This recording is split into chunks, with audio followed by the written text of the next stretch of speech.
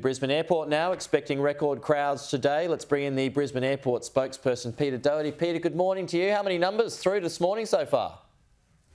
Look, we are in record territory today. So 57,000 people through our domestic terminal. That is our second busiest day since 2019. The busiest day this year was at Easter, but today is the second busiest in domestic.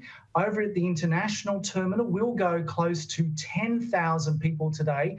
So combine those two numbers for domestic and international. And it looks like this will be our record since the pandemic two years ago. So a, a, huge milestone day here in Brisbane. Okay, so how are people coping so far? Look, I've been at the terminal since 5.30 this morning, and I have to say, uh, we have to congratulate the people of Queensland and everybody going through Brisbane. It has been a very calm morning despite those record numbers. People have been following the advice. They've been arriving 90 minutes before in the domestic terminal and three hours before in the international terminal. They've arrived, they've got through, check through, they've left themselves that extra bit of time and they've grabbed a coffee on the other side. So, certainly, uh, throughout the entire process this morning in Brisbane, a really smooth arrival and transition.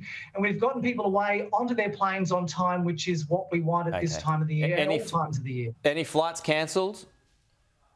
Or delayed? There have been a number of flights cancelled, uh, and that is due to crewing issues, which we know, look, they're impacting every workplace right across our economy, and so that the airlines have been no different in that sense, but only a very small number.